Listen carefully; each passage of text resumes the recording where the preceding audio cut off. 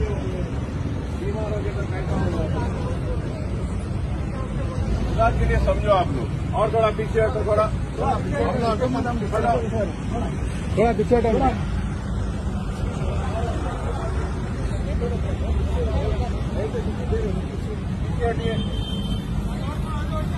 थोड़ा थोड़ी जगह रखो, देखो, आप लोग क्या सही के वास्ते समझो बात।